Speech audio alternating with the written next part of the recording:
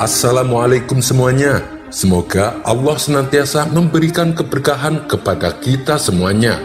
Amin ya Robbal 'Alamin.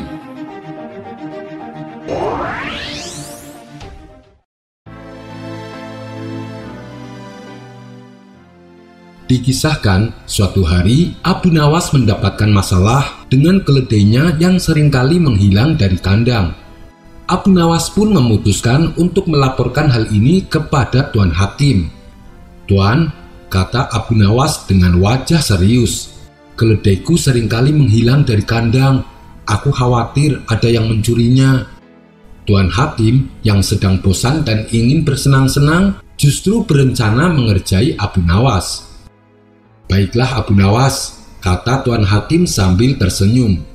Aku akan mengutus dua prajurit khusus untuk menjaga keledaimu, tapi ada syaratnya.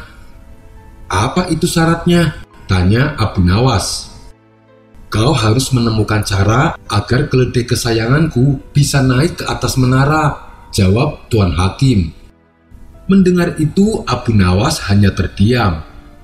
Dasar hakim sialan, ada rakyatnya yang butuh pertolongan, tapi malah dikerjai, gerutu Abu Nawas. Setelah Abu Nawas berpikir sejenak, lalu ia mengangguk dan berkata, Baik Tuan, saya akan melaksanakan perintah Tuan. Tuan Hakim membalas, Bagus, aku senang mendengarnya. Abu Nawas kembali berkata, Tapi aku akan melakukannya dengan caraku. Terserah Abu Nawas, Kau boleh melakukannya dengan cara apa pun, balas Tuan Hakim. Maka diantarlah keledai Tuan Hakim ke hadapan Abu Nawas. Lalu oleh Abu Nawas, keledai tersebut dibawa ke menara. Sesampainya di sana, Abu Nawas langsung memukuli keledai tersebut. Ayo, naik ke atas, cepat naik, teriak Abu Nawas. Keledai itu tentu saja tidak bergerak sedikit pun Tuan Hakim yang melihat itu awalnya tertawa terpingkal-pingkal. Hei Abu Nawas, apa yang sedang kau lakukan? Keledai itu tidak akan pernah bisa naik ke menara, katanya sambil tertawa. Namun Abu Nawas tak menghiraukannya. Ia tetap saja berteriak sambil memukulnya. Lama-kelamaan, pukulan yang Abu Nawas berikan semakin keras dan kencang, sehingga keledai Tuan Hakim merintih kesakitan. Apa-apaan Abu Nawas? Kau bisa membunuh keledaiku, bentak Tuan Hakim. Memang itu yang akan kulakukan. Kalau keledai ini mati, arwahnya pasti akan terbang ke atas. Jadi dia bukan hanya sampai ke atas menara, tapi akan sampai ke atas langit. Jelas Abu Nawas. Tuan Hakim yang khawatir dengan kondisi keledainya segera menghentikan perbuatan Abu Nawas. Sudah, sudah, Cukup Abu Nawas, hentikan perbuatanmu. Baiklah, mulai nanti malam aku akan kirim dua prajurit untuk menjaga keledaimu, kata Tuan Hakim. Sungguh sial nasib Tuan Hakim. Niatnya ingin mengerjai Abu Nawas, tapi malah dia yang kena apes. Cerita berikutnya Dikisahkan, kondisi ekonomi keluarga Abu Nawas sedang mengalami kesusahan ia pun berinisiatif mencari pekerjaan untuk menafkahi keluarganya. Maka pergilah Abu Nawas ke pasar. Beberapa toko sudah ia datangi hendak melamar pekerjaan. Namun tak satu pun yang berminat menggunakan jasa tenaganya. Maaf Abu Nawas, toko kami sedang sepi, jadi kami tak mampu untuk membayarmu, ucap salah satu pemilik toko. Hingga waktu menjelang siang, Abu Nawas masih belum juga mendapatkan pekerjaan. Dengan perasaan kecewa, Abu Nawas memutuskan balik ke rumah. Ketika ia tengah menyusuri jalanan sepi, tiba-tiba kakinya terantuk sesuatu. Karena penasaran, Abu Nawas membungkuk dan mengambilnya. Ternyata cuma koin penyok yang sudah karatan, gerutu Abu Nawas kecewa. Meskipun begitu, ia memasukkan koin tersebut ke dalam sakunya.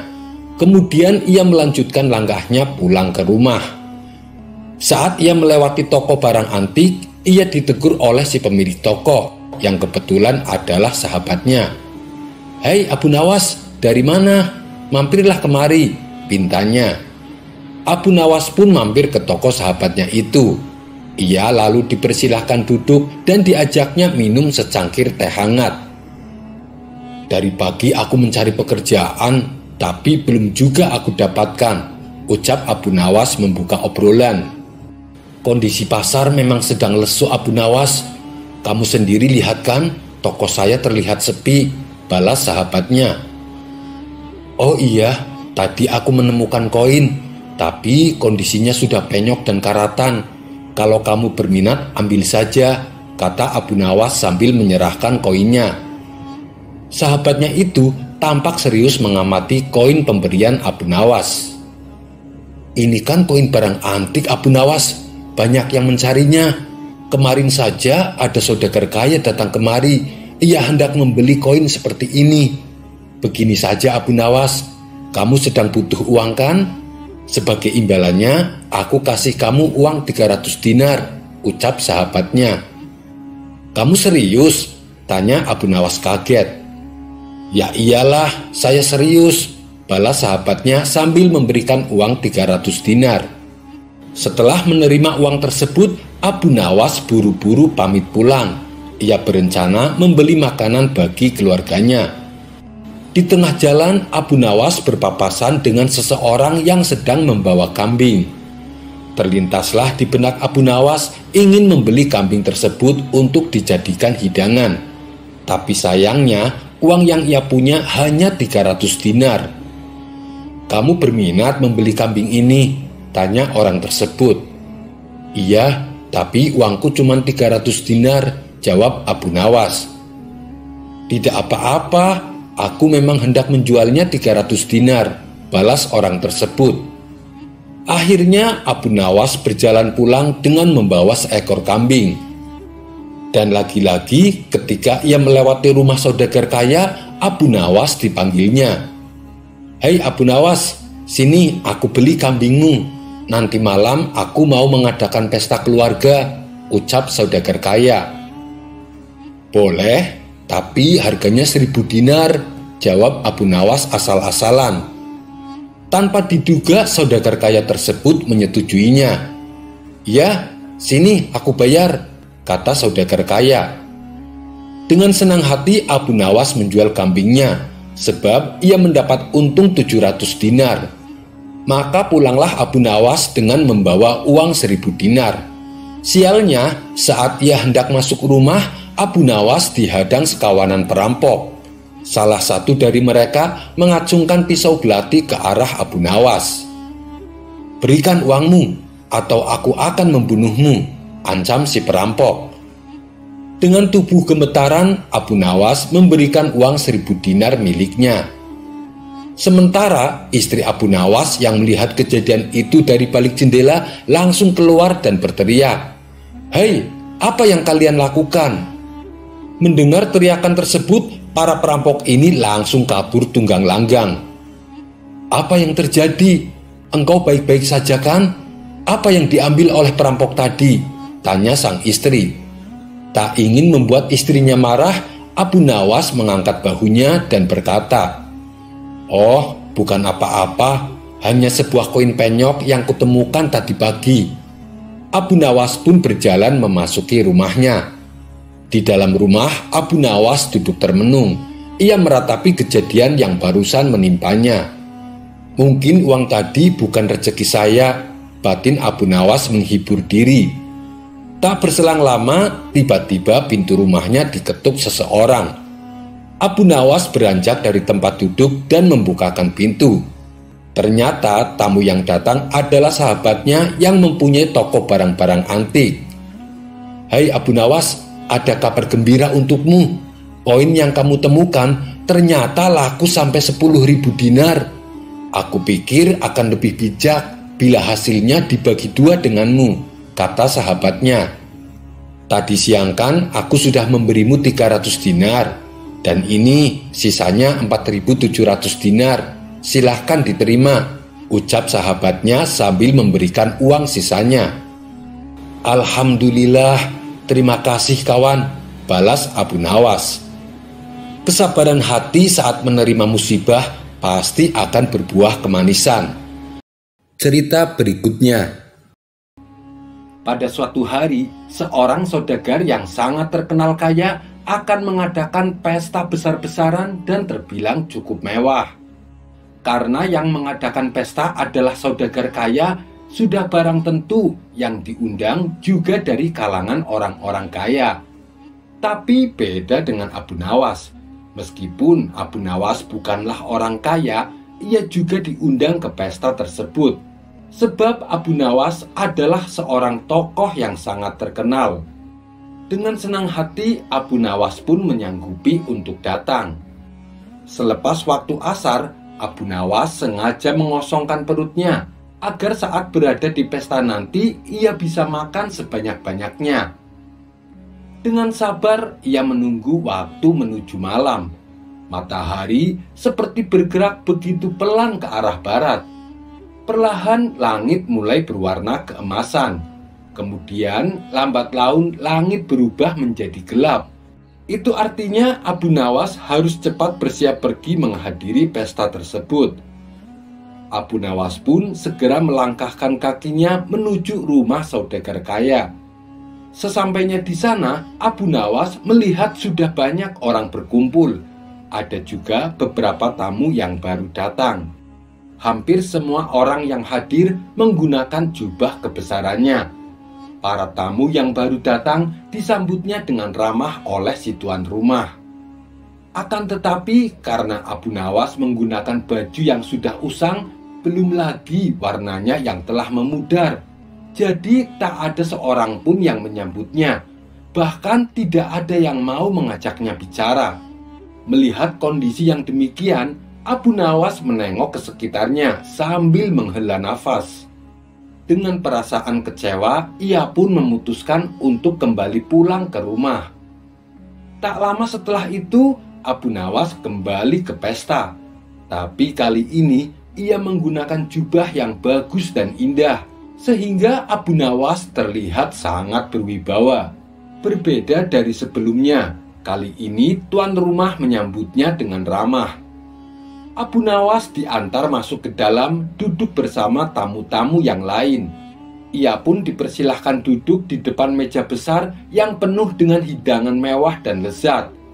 Tapi Abu Nawas bukannya makan dengan lahap seperti yang dibayangkan tadi siang ia malah tak sedikit pun menyentuh hidangan tersebut. Abu Nawas justru membuka jubah indahnya. Dan jubahnya itu ia letakkan di atas hidangan sambil berteriak. Hai jubah indah, makanlah hidangan itu.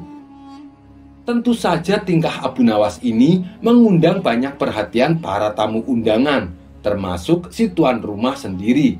Ia memandang Abu Nawas penuh keheranan Lalu Abu Nawas kembali berkata, Tadi waktu aku pertama ke sini memakai baju usang, tidak ada seorang pun yang menyapa ataupun menyambutku, apalagi sampai mempersilahkan untuk makan. Tapi setelah aku kembali ke sini dengan memakai jubah indah, aku disambut dengan ramah. Aku dipersilahkan duduk di tempat yang bagus dan dihidangkan makanan yang enak-enak. Jadi makanan ini adalah hak jubahku bukan hak saya, ucap Abu Nawas menjelaskan. Semua tamu yang hadir, termasuk si tuan rumah, langsung tersadar akan kekeliruannya. Mereka pun meminta maaf kepada Abu Nawas. Cerita berikutnya Pada suatu hari, Abu Nawas bertamu ke rumah sahabatnya yang bernama Hamid. Melihat kehadiran Abu Nawas, Hamid langsung menyambutnya dengan sukacita. Wahai sahabatku, sudah lama kita tidak bertemu, kata Hamid sambil memeluk Abu Nawas. Mereka berdua lalu duduk dan ngobrol panjang lebar.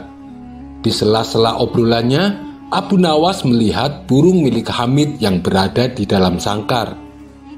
Sekarang kamu suka pelihara burung, Mid? Burungnya bagus sekali, tanya Abu Nawas. Iya, Abu, sekedar untuk mengusir kejenuhan, sudah banyak yang menawar dengan harga tinggi, tapi tidak aku berikan, jawab Hamid. Kenapa? Kan kamu dapat untung besar, tanya Abu Nawas heran. Saya sendiri suka dengan burung tersebut Abu Nawas. Sayang kalau sampai dijual, balas Hamid. Setelah waktu menjelang sore, Abu Nawas pun pamit pulang kepada sahabatnya. Jangan sungkan-sungkan, seringlah main ke sini Abu Nawas, ucap Hamid. Insya Allah sahabatku, balas Abu Nawas. Beberapa hari kemudian, burung milik Hamid hilang dicuri. Hal itu membuat Hamid sedih. Ia bertanya kepada orang-orang, tapi tidak ada satupun yang mengetahuinya. Kemudian Hamid membuat sayembara. Barang siapa yang bisa menunjukkan pencuri burungnya akan diberi imbalan hadiah uang banyak. Lagi-lagi usahanya ini menemui jalan buntu, sebab tidak ada satu orang pun yang membantunya. Solusi terakhir yang ia tempuh adalah dengan meminta bantuan sahabatnya. Siapa lagi kalau bukan Abu Nawas? Maka pergilah Hamid ke rumah Abu Nawas. Sesampainya di sana, Hamid menceritakan masalah yang menimpa dirinya. Apakah kamu punya dugaan siapa kira-kira yang mencuri burungmu? Tanya Abu Nawas. Yang jelas orang dekat Abu Nawas bisa jadi tetangga saya mungkin juga kawan saya. Tapi saya tidak berani sembarangan menuduh, jawab Hamid. Sejenak Abu Nawas terdiam. Ia terus memikirkan cara untuk menemukan pelakunya. Tidak lama kemudian muncullah ide cemerlang Abu Nawas. Aku punya ide, undang semua orang-orang terdekatmu. Ajak mereka makan siang di rumahmu, perintah Abu Nawas. Mendengar itu Hamid pun kaget. Untuk apa Abu Nawas? Bisa jadi di antara mereka adalah pencurinya, tanya Hamid. Jika kau ingin tahu pelakunya, turuti saja perkataanku. Jangan banyak bertanya. Biarkan aku yang bekerja, ucap Abu Nawas menegaskan. Baiklah Abu Nawas, saya serahkan urusan ini sepenuhnya kepadamu. Balas Hamid mengiyakan. Esok harinya, Hamid melaksanakan rencana Abu Nawas. Ia mengundang orang-orang dekatnya. Mereka adalah tetangga Hamid dan kawan-kawan Hamid. Setelah semuanya berkumpul, mereka disuguhi hidangan makan siang. Tiba-tiba, Abu Nawas berdiri dan berkata, "Apakah kalian tahu kenapa kita diundang?" Mereka menjawab, "Untuk makan-makan." Abu Nawas kembali bertanya, "Dalam rangka apa kita diundang?" Salah satu dari mereka berceletuk, "Dalam rangka pencurian burungnya Abu Nawas." Spontan para hadirin tertawa mendengar perkataan tersebut. Tepat sekali. Sebenarnya Hamid sudah tahu pelakunya. Apakah kalian siap untuk bersumpah bahwa kalian tidak mengambil burungnya Hamid? Tantang Abu Nawas. Suasana yang tadinya penuh gelak tawa mendadak berubah menjadi tegang. Jangan tegang begitu, saya hanya bercanda, ucap Abu Nawas meredakan suasana. Begini kawan-kawan, untuk apa pakai sumpah-sumpahan? Karena sebenarnya saya dan Hamid melihat pelakunya. Dia ada di sini bersama kalian. Mendengar hal itu, Orang-orang yang berkumpul di rumah Hamid menjadi penasaran. Siapa orangnya? Kami ingin tahu, tanya mereka. Tidak perlu aku sebutkan. Nanti biar aku yang akan bicara kepadanya di lain waktu, tutur Abu Nawas. Jawaban Abu Nawas membuat mereka tidak terima. Mereka protes dan berkata, "Tidak bisa, Abu Nawas kami harus mengetahuinya sekarang juga. Kami akan menghukum dan mengusirnya. Situasi pun semakin memanas, dan ini sesuai dengan rencana Abu Nawas. Tidak perlu kalian lakukan itu, cukup dia merasakan kepanikan dan rasa takut. Balas Abu Nawas berpura-pura meredakan suasana. Mereka tetap saja tidak puas dengan jawaban Abu Nawas. Akhirnya, mereka memilih bertanya kepada Hamid. "Wahai Hamid, beritahu kami siapa pelakunya," desak mereka. Hamid pun menjawab sesuai dengan arahan Abu Nawas. "Iya, Memang saya dan Abu Nawas sudah mengetahui pelakunya. Namun aku kira Abu Nawas bertindak dengan bijak. Biarkan dia yang atur. Jawaban Hamid malah membuat mereka semakin emosi. Kami tidak akan meninggalkan rumah ini sebelum kami mengetahui siapa pelakunya, kata mereka serempak. Baiklah, jika kalian masih bersikeras ingin mengetahuinya, saya akan menyebutkan ciri-cirinya. Pencuri itu ialah lelaki yang di kepalanya terdapat sehelai bulu burung, ucap Abu Nawas menjelaskan. Para hadirin akhirnya senang. Mereka saling melirik satu sama lain. Namun, ada satu orang yang nampak tegang. Dia menaruh tangannya di atas kepala dan mulai meraba-raba rambutnya untuk mencari sehelai bulu burung. Di saat itulah Abu Nawas langsung berteriak dan menunjuk orang tersebut. Dia pelakunya, dia yang telah mencuri burungnya Hamid. Orang itu tak bisa mengelak, terpaksa ia mengaku perbuatannya. Singkat cerita, burung Hamid akhirnya bisa ditemukan. Sebagai rasa terima kasihnya, Hamid memberikan sejumlah uang kepada Abu Nawas. Cerita berikutnya Menjelang pagi hari, suasana kota Baghdad cukup ramai. Seperti biasanya, orang-orang berlalu lalang melakukan berbagai aktivitas mereka. Sementara Abu Nawas memutuskan untuk sedikit berkeliling di sekitar tempat ia tinggal. Cuaca yang cerah seolah mendukung kegiatan Abu Nawas berjalan keliling menyusuri kota. Sesekali dia tersenyum dan berhenti sejenak manakala ada salah seorang menyapanya. Karena sikapnya ini tidak heran bila banyak orang yang mengenalnya sebagai sosok yang ramah kepada siapa pun. Meskipun Abu Nawas terkenal sebagai cendekiawan pandai, belum lagi dia adalah penyair yang masyhur. Tapi Abu Nawas mau bergaul dengan siapa saja Hal itulah yang membuat dirinya dihormati dan disegani oleh masyarakat. Saat sedang asik menikmati suasana pagi, tanpa sengaja Abu Nawas melewati depan rumah hakim kota. Rumahnya megah dan besar, seperti layaknya rumah pejabat pada umumnya. Kebetulan Tuan Hakim sedang duduk santai di halaman rumahnya. Hakim kota ini terkenal pandai dan sangat bijak dalam memutuskan persoalan. Bisa dikatakan, dialah satu-satunya hakim cendekiawan di kota Baghdad.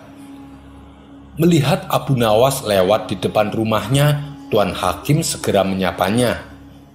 Hei Abu Nawas, mau ke mana? Tanya Tuan Hakim. Biasalah Tuan, jalan-jalan menghilangkan rasa suntuk, jawab Abu Nawas.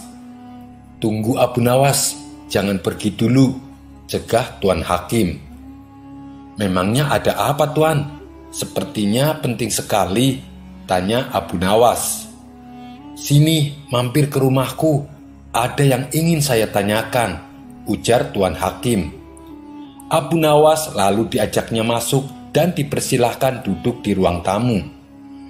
Karena tidak terbiasa duduk di kursi yang empuk dan mewah, membuat Abu Nawas agak canggung. Hakim kota itu lalu mulai mengutarakan pemikirannya kepada Abu Nawas. Seandainya manusia mau mematuhi hukum dan etika, pastilah dunia menjadi aman dan tentram.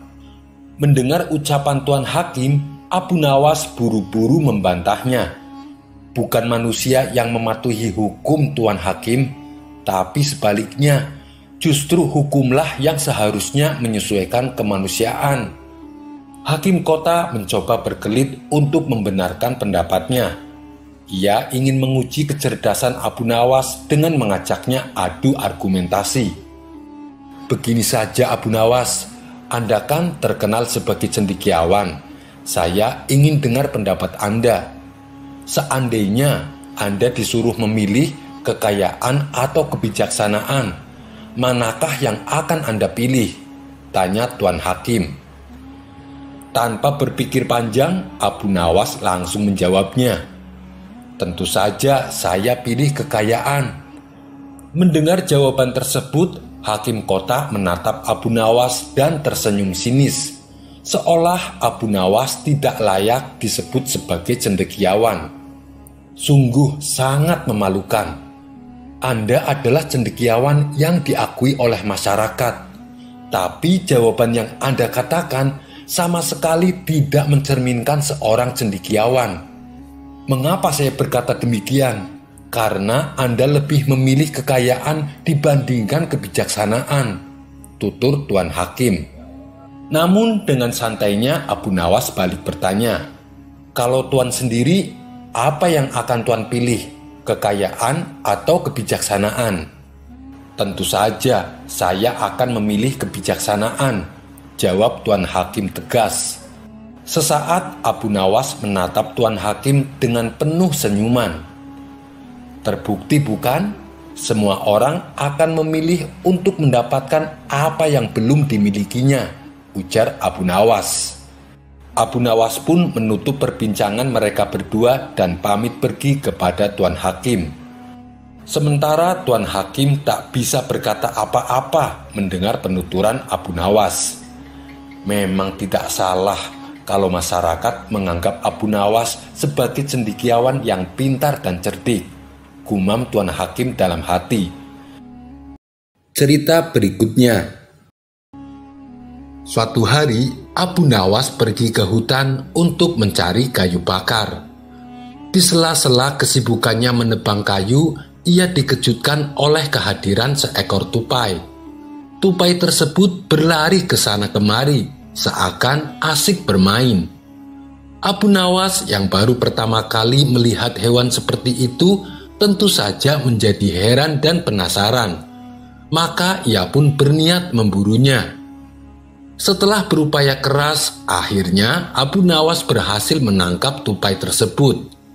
Hewan ini aneh, aku harus menunjukkannya kepada orang-orang kata Abu Nawas dalam hati. Lantas ia menaruh tupai itu di dalam karung dan mengikatnya dengan kuat.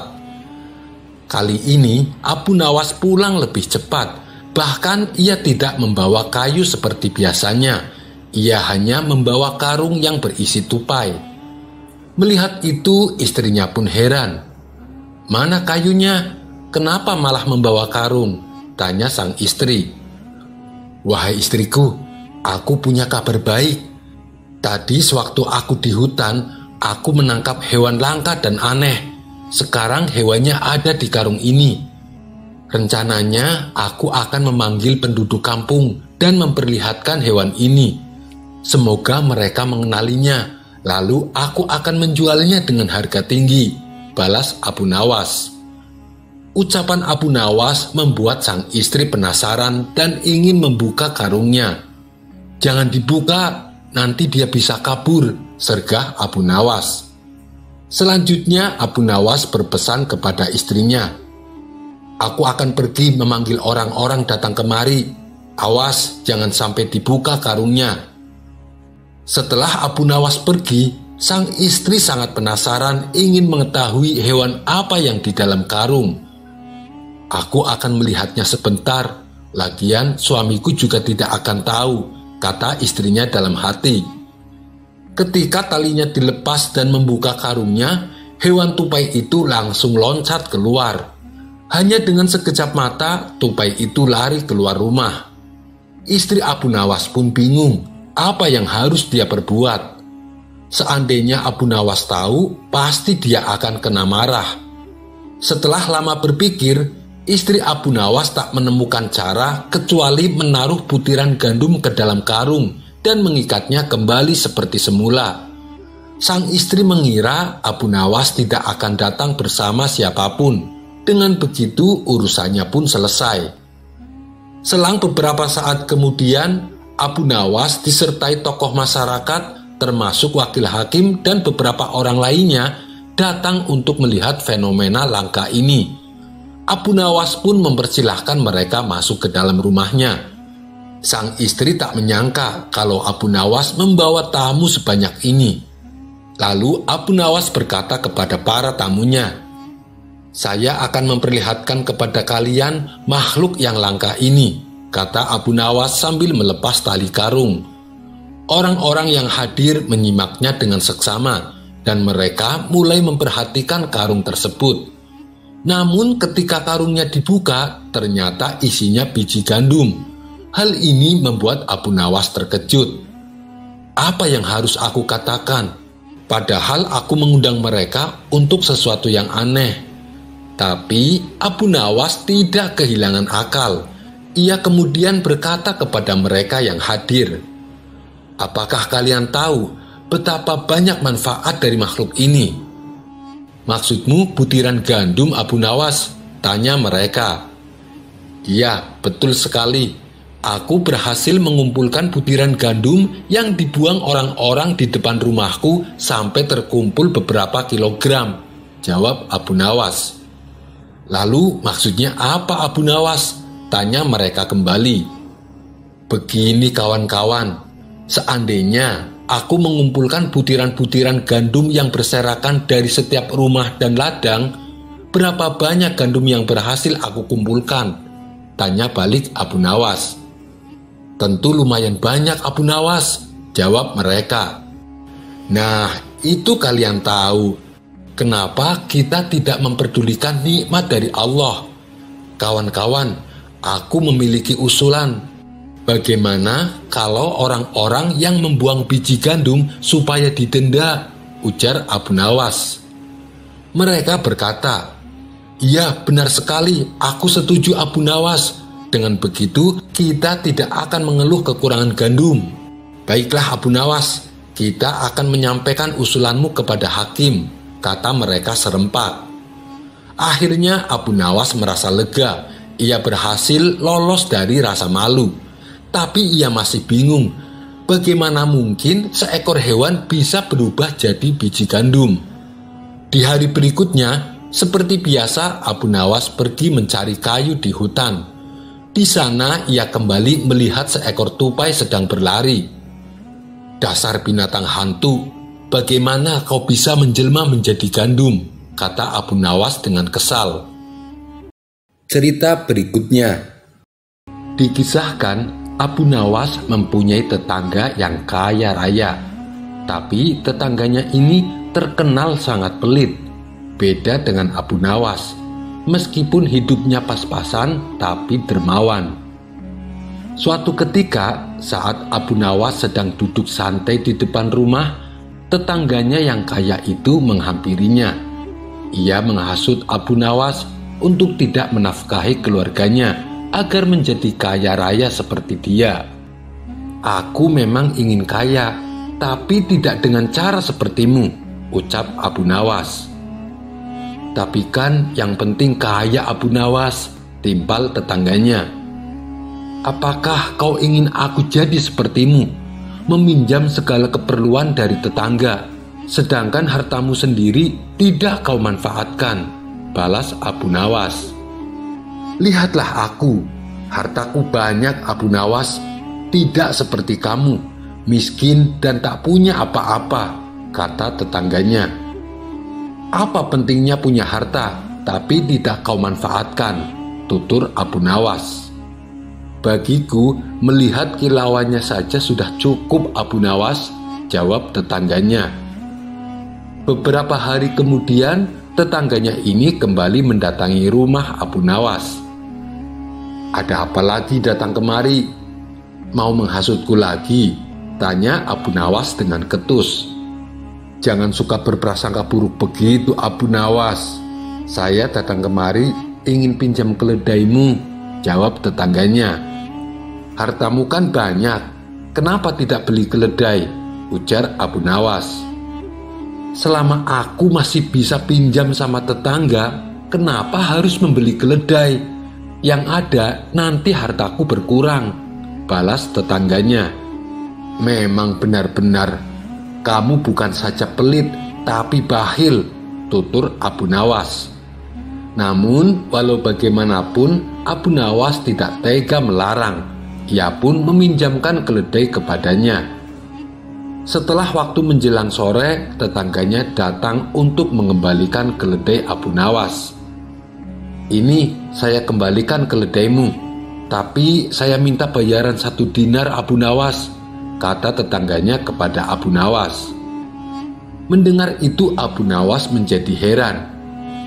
Kamu yang meminjam keledai, tapi kamu yang meminta bayaran. Apa aku tidak salah dengar? Tanya Abu Nawas mulai emosi. Jangan marah dulu Abu Nawas, dengarkan penjelasanku. Tadi sewaktu di jalan keledaimu merasakan lapar, lalu aku membelikan dia rumput, jawab tetangganya. Apa kau tidak malu? Kamu sering pinjam keledaiku dan aku tidak pernah meminta bayaran, kata Abu Nawas semakin emosi. Sudahlah, Aku tak ingin bertengkar denganmu. Nih, uang satu dinar untukmu. Tapi ingat, jangan harap aku akan meminjamkan lagi keledai kepadamu, ucap Abu Nawas melanjutkan.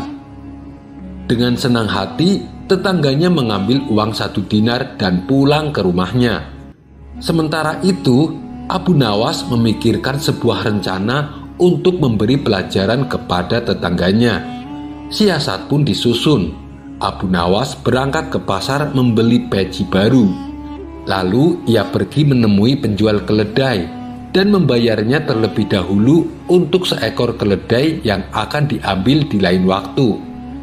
Kemudian dia pergi menemui penjual buah-buahan dan membayar harganya terlebih dahulu. Dia juga menemui penjual burung dan membayarnya. Setelah semuanya selesai, Abu Nawas memulai jebakannya ia sengaja duduk di depan rumah dengan menggunakan peci barunya. Melihat hal itu, tetangganya yang kaya tapi bakhil tertarik dan ingin meminjamnya. Ia pun segera menghampiri Abu Nawas. Pecinya indah sekali Abu Nawas. Berapa harganya? Tanya si tetangga. Ini peci keramat warisan dari leluhurku, tidak bisa dinilai dengan harga, jawab Abu Nawas. Keramat apanya? Kamu suka mengada-ada Abu Nawas, balas tetangganya. Kamu ingin bukti? Ayo, ikut aku sekarang, timpal Abu Nawas. Mereka berdua lalu pergi ke tempat si penjual keledai. Mau ngapain kita ke sini? Tanya tetangganya terlihat bingung. Selama ini kan kamu selalu pinjam keledai. Sekarang saya akan belikan untukmu, balas Abu Nawas. Kemudian si penjual memberikan keledainya kepada Abu Nawas. Lalu Abu Nawas berkata kepada tetangganya, "Ini keledai untukmu, silahkan dibawa." Tetangganya senang bukan main, tapi rasa senangnya langsung berganti jadi takjub. Pasalnya, ia melihat ketika si penjual minta bayaran, Abu Nawas malah melepas peci dan menggosoknya. Baik, sudah lunas, kata si penjual keledai. Abu Nawas lalu mengajak tetangganya ke tempat pasar buah. Setelah Abu Nawas mengambil buah dan memasukkannya ke dalam keranjang, ia cukup menggosokkan pecinya. Dan si penjual buah langsung mengatakan, "Baik, sudah lunas."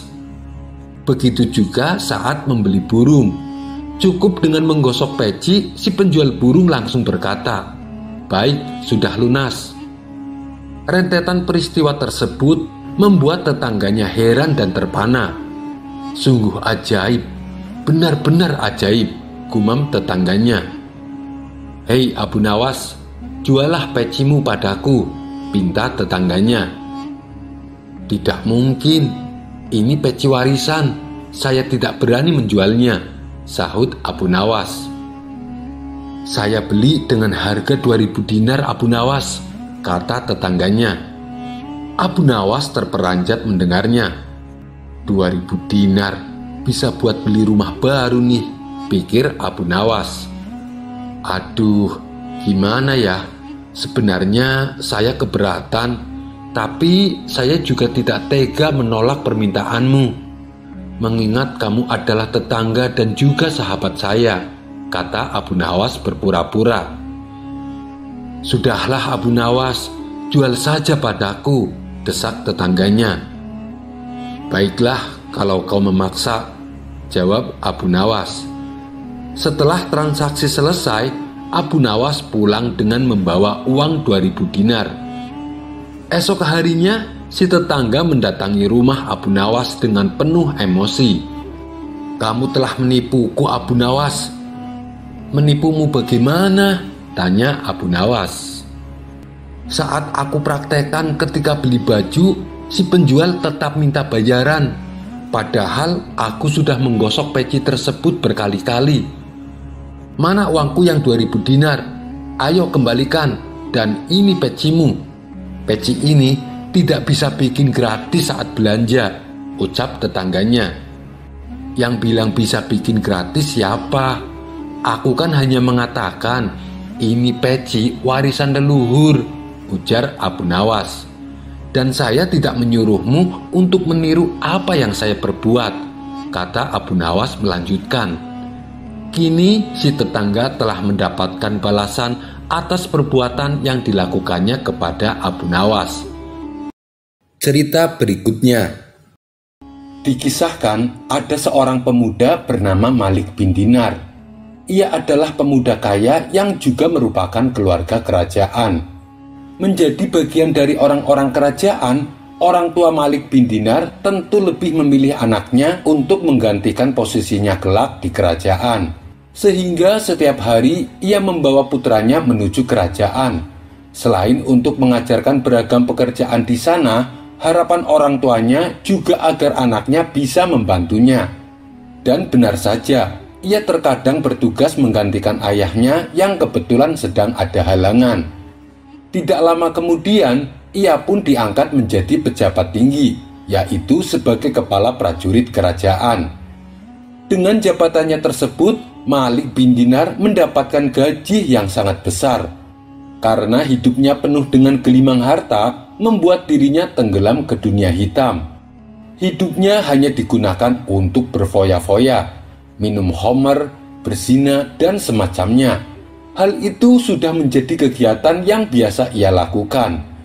Suatu hari, Malik bin Dinar mendambakan seorang wanita untuk dijadikannya seorang istri Lalu salah satu kawannya menawarkan budak wanita kepadanya. Tanpa pikir panjang, Malik bin Dinar langsung mengiyakan dan membelinya dengan kontan. Bahkan karena kecantikannya yang melebihi budak pada umumnya, ia rela membeli dengan harga yang sangat mahal. Setelah lama hidup bersama dengan Malik, sang budak pun akhirnya hamil dan melahirkan bayi perempuan. Bayi tersebut ia beri nama Fatimah. Sebagai seorang ayah, tentu ia sangat menyayangi putrinya. Seiring berjalannya waktu, Fatimah kini tumbuh besar dan menjadi anak putri yang cantik. Maka bertambah cinta dan sayanglah Malik kepada anak semata wayangnya tersebut. Suatu kali, saat Malik hendak menenggak minuman keras, Fatimah segera merebut gelasnya dan menumpahkannya ke baju Malik bin Dinar. Dan itu Fatimah lakukan setiap kali saat melihat ayahnya akan minum minuman keras. Meskipun Malik terkenal pemarah, namun ia hanya tersenyum dengan ulah Fatimah. Itu karena rasa cintanya dan sayangnya. Sejak saat itulah, sedikit demi sedikit, Malik mulai meninggalkan maksiat demi putri tercintanya. Namun kebahagiaan yang dirasakan Malik tidak berlangsung lama. Anak putrinya harus meninggal di usia tiga tahun. Setelah kematian putrinya, Malik bin Dinar dirundung kesedihan yang tiada tara. Hingga akhirnya ia pun kembali tenggelam ke dalam kemaksiatan. Ia kini menjadi pribadi yang lebih buruk dari sebelumnya. Setiap malamnya hanya ia habiskan untuk mabuk-mabukan. Hingga pada suatu malam, saat ia tengah mabuk berat, ia pun tertidur. Dalam tidurnya, ia bermimpi seolah-olah hari kiamat tiba matahari gelap, lautan menjelma menjadi api, bumi pun bergoncang, segenap manusia berkumpul secara berkelompok. Di tengah rasa kebingungannya, tiba-tiba terdengar suara misterius. Suara tersebut memanggil satu persatu manusia untuk dihisap. Tidak lama kemudian, giliran suara itu memanggil namanya. Padang mahsar yang semula penuh sesak dengan manusia, tiba-tiba menjadi sepi tak ada siapa pun, hanya tinggal dirinya seorang.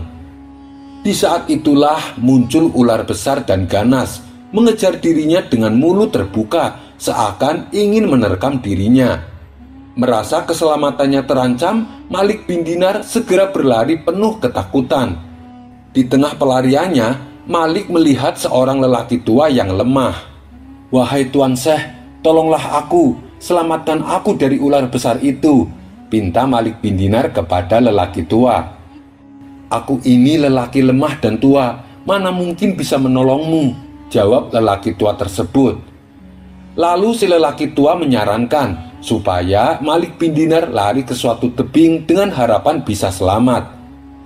Mendengar jawabannya itu, Malik bin Dinar semakin panik dan lari jauh hingga menaiki tebing yang ditunjukkan. Ternyata tebing tersebut adalah tebing neraka. Di bawahnya terdapat api yang menyala-nyala. Ia pun segera berbalik arah dan berlari menghindari kejaran ular raksasa. Malik bin Dinar kembali menghampiri kakek tua untuk meminta tolong. Tolonglah aku, selamatkan aku dari ular besar itu, pinta Malik bin Dinar. Melihat keadaan Malik yang malang, si lelaki tua itu merasa iba. Sambil menangis, ia kembali menyarankan agar Malik bin Dinar berlari ke arah gunung. Tanpa membuang waktu, Malik menuruti saran lelaki tua itu. Ia berlari sangat kencang, sementara si ular masih terus mengejarnya. Setelah sampai di atas gunung, ia melihat ada sekelompok anak kecil yang sedang bermain-main. Melihat kehadiran Malik bin Dinar, anak-anak tersebut berteriak kepada seorang gadis kecil yang sedang berada di tengah-tengah mereka. "Hai Fatimah, tolonglah ayahmu, tolonglah ayahmu."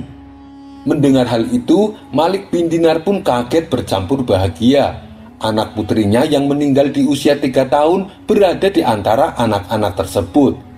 Lalu Fatimah menghampiri ayahnya. Tangan kanannya memegang tangan sang ayah, sedangkan tangan kirinya mengusir ular besar yang sedari tadi mengejarnya. Ular besar itu pun langsung menghilang seketika. Malik bin Dinar dibuatnya tercengang melihat peristiwa tersebut. Kemudian Fatimah duduk di pangkuan Malik bin Dinar sebagaimana di dunia dulu. Wahai ayah, belumkah datang waktunya bagi orang-orang yang beriman untuk tunduk hati mereka mengingat Allah? Kata Fatimah kepada Malik bin Dinar. Sang ayah lalu meminta penjelasan perihal ular raksasa yang mengejarnya. Fatimah lalu berkata, Ular raksasa yang mengejar ayah, itulah gambaran perbuatan buruk ayah yang suatu saat nanti akan membuat ayah celaka. Sedangkan lelaki tua yang ayah mintai tolong itu merupakan wujud amal baik ayah yang tak pernah dipelihara, sehingga ia sendiri menangis, lemah tak berdaya, dan tak bisa menolong. Seandainya saja ayah tidak melahirkanku, dan seandainya saja aku tidak mati saat masih kecil, tidak akan ada yang bisa memberikan manfaat kepada ayah, kata Fatimah menjelaskan. Seketika Malik bin Dinar kaget dan terbangun dari mimpinya. Ia pun menangis dan menyesali semua perbuatan jahatnya. Ia juga menghancurkan semua botol minuman kerasnya dan bertobat kepada Allah. Setelah pertaubatannya, Malik bin Dinar memilih hidup menyendiri. Semua harta kekayaannya ia tinggalkan. Ia menetap di sebuah rumah kecil yang jauh dari pemukiman penduduk Hingga pada suatu ketika ada seorang pencuri memasuki rumah Malik bin Dinar. Saat itu Malik bin Dinar tengah sholat malam. Si pencuri merasa kecewa karena ia tak mendapati barang berharga untuk bisa diambilnya. Ia lantas memutuskan untuk meninggalkan rumah Malik bin Dinar. Tapi saat ia hendak keluar, Malik bin Dinar keburu memergokinya. Awalnya si pencuri hendak menusuknya pakai belati, ia khawatir apabila Malik bin Dinar melawan ataupun berteriak. Namun Malik justru bersikap tenang, bahkan ia mengucapkan salam dengan lembut. Wahai saudaraku, semoga Allah memaafkanmu. Kamu telah memasuki rumah saya dan tidak menemukan barang berharga. Tapi saya tidak ingin kamu pergi tanpa mendapatkan apa pun. Berwudulah dan sholat, berdoalah kepada Allah, karena jika kamu melakukannya, kamu akan meninggalkan rumah saya dengan membawa harta yang lebih besar daripada yang kamu inginkan, kata Malik bin Dinar. Si pencuri tak menyangka dengan sikap Malik bin Dinar. Ia merasa tersanjung oleh sopan santun dan tutur katanya. Karena merasa tidak enak hati, si pencuri menuruti perkataan Malik bin Dinar. Ia pun menghabiskan sepanjang malam dengan sholat dan bersikir. Setelah menjelang subuh, si pencuri malah meminta untuk menginap di rumah Malik bin Dinar. Malik bin Dinar pun mengizinkannya. Selama sepekan, si pencuri diajari berbagai ilmu agama oleh Malik bin Dinar. Si pencuri yang awalnya hendak berbuat jahat, kini justru bertaubat dan menjadi orang yang baik dan menjadi orang yang sangat alim. Suatu kali, saat Malik bin Dinar hendak menunaikan ibadah haji, di tengah perjalanan ia menjumpai burung gagak yang terbang rendah. Burung gagak tersebut membawa sepotong roti di paruhnya karena penasaran, Malik pun diam-diam mengikutinya dari belakang. Malik menduga gagak yang terbang tersebut pasti menyimpan suatu rahasia. Oleh karenanya, ia terus saja mengikutinya hingga sampailah ia di depan sebuah gua. Kemudian burung gagak tersebut memasukinya. Ternyata roti yang dibawa burung gagak diberikan kepada lelaki tua yang tengah terikat di dalam gua. Burung gagak tersebut lalu menyuapinya sedikit demi sedikit. Setelah burung gagak itu kembali terbang dan tidak terlihat lagi, Malik cepat-cepat mendekati kakek yang terikat dan membuka tali ikatannya. "Siapa engkau? Apa yang telah menimpamu?" tanya Malik bin Dinar. "Aku sedang dalam perjalanan menunaikan ibadah haji, namun ketika dalam perjalanan hartaku dirampok oleh penyamun." Lalu tangan dan kakiku diikat oleh mereka. Setelah itu aku dilemparkan ke gua ini. Jelas kakek tua itu.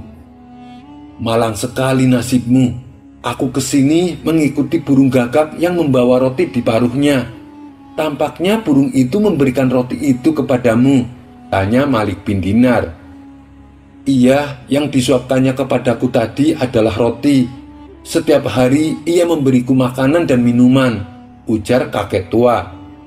Subhanallah, ilmu apa yang kau miliki sampai burung gagak itu sedemikian tunduknya padamu? Tanya Malik bin Dinar. Tidak ada, selama lima hari sejak aku di sini, aku hanya bersabar dan berdoa. Dalam doaku aku berkata, Wahai zat yang berfirman dalam kitabnya, percayalah bahwa Allah akan mengabulkan doa hambanya yang ditimpa kemalangan Aku sekarang membutuhkan pertolonganmu, maka rahmatilah aku.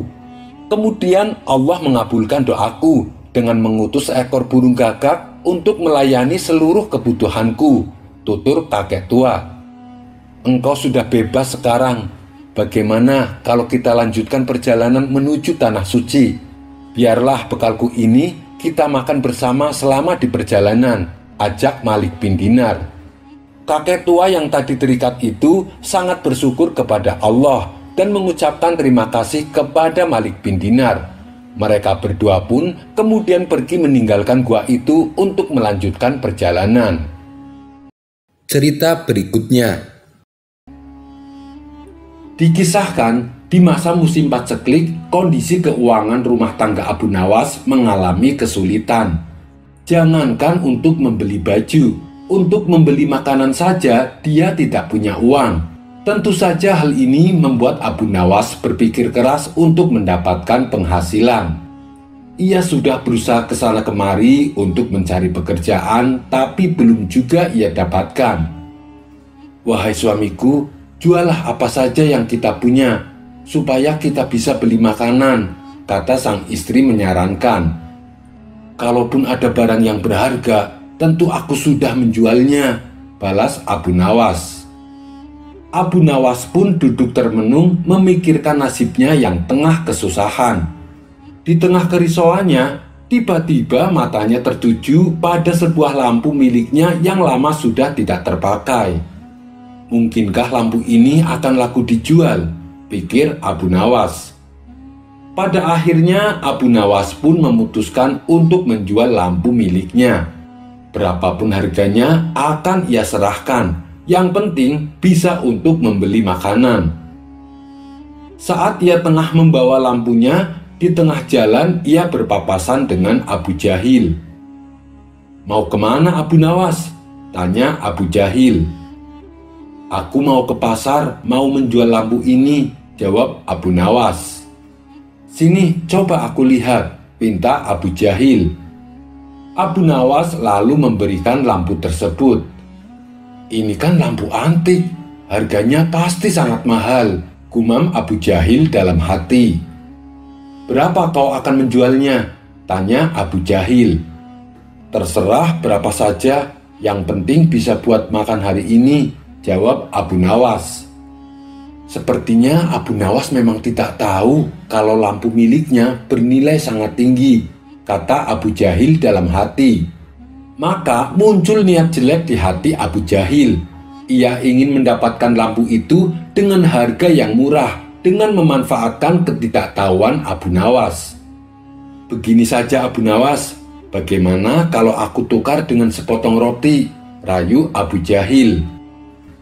Apa tidak terlalu murah? Bagaimana kalau dua potong roti? Tawar Abu Nawas. Lampu ini sudah terlalu tua Abu Nawas. Kalau tidak mau ya udah. Sahut Abu Jahil pura-pura tidak peduli. Ia pun lalu berjalan pergi meninggalkan Abu Nawas.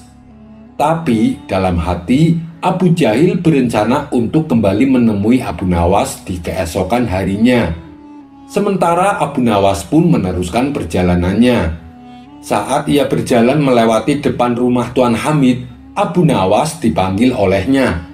Kebetulan saat itu Tuan Hamid tengah berdiri di depan rumah. Hai Abu Nawas, mau ke mana? Tanya Tuan Hamid. Mau ke pasar, saya akan menjual lampu ini, jawab Abu Nawas. Ke sinilah sebentar, barangkali saya berminat, balas Tuan Hamid. Abu Nawas pun menghampiri Tuan Hamid dan menyerahkan lampu miliknya. Tuan Hamid lalu mengamatinya dengan teliti lampu yang dibawa Abu Nawas. Ini lampu antik Abu Nawas, nilai harganya tinggi sekali, ujar Tuan Hamid. Benarkah? Berapa kira-kira harganya? Tanya Abu Nawas penasaran. Ini harganya setara dengan rumahku, jawab Tuan Hamid. Tuan Hamid sendiri adalah saudagar kaya yang rumahnya besar dan megah. Begini saja Abu Nawas, saya akan bantu kamu menjualnya. Kebetulan sekali saya punya kenalan saudagar kaya yang gemar mengkoleksi barang antik. Saya akan tawarkan kepadanya. Itu pun kalau kamu tidak keberatan Abu Nawas, ucap Tuan Hamid. Sama sekali saya tidak keberatan, tapi saat ini juga aku sedang membutuhkan uang untuk beli makanan Tuan Hamid, ujar Abu Nawas. Jangan khawatir, ini saya kasih 100 dinar untuk kebutuhan keluargamu, balas Tuan Hamid sembari memberikan uangnya. Betapa kagetnya Abu Nawas menerima uang sebanyak itu. Dengan uang 100 dinar, ia bisa membeli hidangan enak selama setahun. Nanti kurangannya besok saya berikan kalau lampunya sudah dibayar, tutur Tuan Hamid. Memangnya bisa laku sampai berapa? Tanya Abu Nawas. Ya kira-kira sekitar seribu dinar, jawab Tuan Hamid. Abu Nawas senang bukan kepalang mendengarnya. Ia pun pulang dengan membawa uang 100 dinar sebagai uang muka. Uang 100 dinar yang ia terima segera ia belanjakan dengan membeli hidangan lezat. Hidangan lezat tersebut lalu ia bawa pulang untuk anak dan istri-istrinya. Keesokan harinya, Abu Jahil kembali mendatangi Abu Nawas. Ia hendak menawar lampu yang kemarin hendak dijualnya. Namun betapa kecewanya Abu Jahil saat mengetahui bahwa lampu antik itu sudah dijual kepada Tuan Hamid ia menyesal karena bersikap tamak, sehingga akhirnya malah gagal mendapatkan lampu antik yang sedianya akan dijual kepadanya. Cerita berikutnya, Diceritakan, Baginda Raja mengangkat gubernur baru untuk ditugaskan di kota tempat tinggal Abu Nawas. Usut banyak usut, gubernur baru ini terkenal kejam dan sadis. Suatu hari, sang gubernur mendengar kabar tentang sosok terkenal yang bernama Abu Nawas. Ia pun lalu bertanya kepada para pengawalnya, apa benar setiap kali Abu Nawas akan dihukum, dia selalu bisa lolos? Pengawalnya pun menjawab bahwa Abu Nawas adalah orang yang sangat cerdik. Bahkan Baginda Raja sendiri dengan mudah terkecoh oleh kecerdikan Abu Nawas. Mendengar hal itu, naluri sang gubernur tertantang untuk menguji orang terpandai di kota Baghdad tersebut. Singkat cerita, berkat siasat licik sang gubernur, Abu Nawas berhasil masuk perangkapnya. Walhasil, Abu Nawas dijatuhi hukuman karena dianggap melakukan kesalahan yang sama sekali tidak ia sadari. Maka sang gubernur memerintahkan beberapa pengawal untuk menjemput paksa Abu Nawas di rumahnya. Tuan Abu, Anda diperintah untuk menghadap Tuan Gubernur, kata salah satu pengawal. Ya, nanti saya ke sana. Kalian pulanglah dulu, balas Abu Nawas. Para pengawal pun lantas meninggalkan rumahnya. Dalam hati Abu Nawas berkata, Sang gubernur pasti akan menghukum saya. Tidak ada gunanya tergesa-gesa memenuhi undangan tersebut. Setelah beberapa hari lamanya, Abu Nawas tak kunjung datang menghadap. Kurang ajar Abu Nawas, dia berani mangkir dari panggilanku, kata sang gubernur merasa geram. Ia pun kemudian mengirim satu peleton pengawal untuk mengundang Abu Nawas.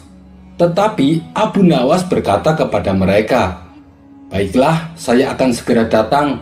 Kalian pulanglah dulu." Namun, ketika setelah itu Abu Nawas tidak juga datang ke istana. Sang gubernur pun menjadi tidak sabar. Ia lantas memerintahkan kepada para pengawal agar mempersiapkan kudanya Sang gubernur segera naik ke atas kuda dan memacu kudanya menuju rumah Abu Nawas. Sesampainya di depan rumah Abu Nawas, sang gubernur berteriak memanggilnya. Hai Abu Nawas, keluarlah, atau aku dobrak pintu rumahmu. Abu Nawas pun sempat terkejut karena kali ini yang datang adalah gubernurnya langsung. Sebelum membukakan pintu, Abu Nawas mengenakan sorban yang sangat besar ia pun keluar dan menghampiri sang gubernur yang tengah duduk di atas kudanya. Melihat penampilan Abu Nawas yang mengerikan itu membuat kuda yang ditunggangi sang gubernur ketakutan. Sehingga hewan itu melompat tinggi-tinggi dan gubernur pun terpental dari punggungnya. Sang gubernur semakin bertambah emosi. Ia segera memerintahkan pengawal-pengawalnya untuk menangkap Abu Nawas. Setelah ia ditangkap, Abu Nawas dibawa ke sebuah tiang gantungan. Ke mana kalian akan membawaku? Tanya Abu Nawas. Salah satu pengawal menjawab, Kamu akan digantung Abu Nawas, ini perintah dari Tuan Gubernur. Bukannya gentar, Abu Nawas malah berkata, Coba kalian tanyakan kepada si gendeng kurang ajar itu. Aku ingin tahu kenapa aku mesti digantung. Apa salahku? Para pengawal itu pun pergi menemui sang gubernur dan menyampaikan apa yang dikatakan Abu Nawas. Karena sebelumnya tak pernah ada yang berani memakinya, sang gubernur pun terkesan akan keberanian Abu Nawas. Bawa dia kemari, perintah sang gubernur. Abu Nawas pun lalu dibawa ke hadapan sang gubernur. Hei Abu Nawas, berani benar kamu memaki saya? Tanya sang gubernur. Karena Tuhan menghukum saya, tanpa memberitahu apa kesalahan saya, jawab Abu Nawas. Karena kamu telah membawa nasib buruk bagiku, balas sang gubernur. Siapa yang menyebabkan nasib buruk? Saya atau Tuan? Justru Tuanlah yang membawa nasib buruk bagi saya, sebab saya ini akan dihukum gantung. Apabila aku yang membawa nasib buruk, tentunya sewaktu Tuan jatuh dari kuda, kepala Tuan pasti akan pecah dan mati ujar Abu Nawas. Mendengar alasan tersebut, sang gubernur berpendapat bahwa alasan Abu Nawas bisa diterima dan ia pun memutuskan untuk memaafkannya. Cerita berikutnya Kecerdikan Abu Nawas dalam menghadapi masalah tak perlu diragukan. apalagi ketika mendapat tantangan dari Baginda Raja. Bahkan tantangan yang terbilang mustahil pun dengan mudahnya diselesaikan oleh Abu Nawas. Sementara bagi sang raja sendiri, hal ini merupakan hiburan untuknya. Meskipun terkadang menjadi bumerang, bagaimana tidak? Karena bukan sekali dua kali saat Abu Nawas menyelesaikan tantangan justru membuat Baginda Raja malu di hadapan menteri-menterinya. Tapi itulah risiko yang harus ditanggung bila berurusan dengan orang cerdik seperti Abu Nawas. Dan kali ini Baginda Raja kembali ingin menguji kecerdikan Abu Nawas. Kisah ini berawal ketika Baginda Raja baru pulang dari negeri seberang. Ia pun menceritakan pengalamannya selama tinggal di sana, termasuk mengenai seorang pengawal pribadi Raja Negeri Seberang yang terkenal sakti. Si pengawal tersebut bisa muncul tiba-tiba tanpa diketahui dari mana ia datang.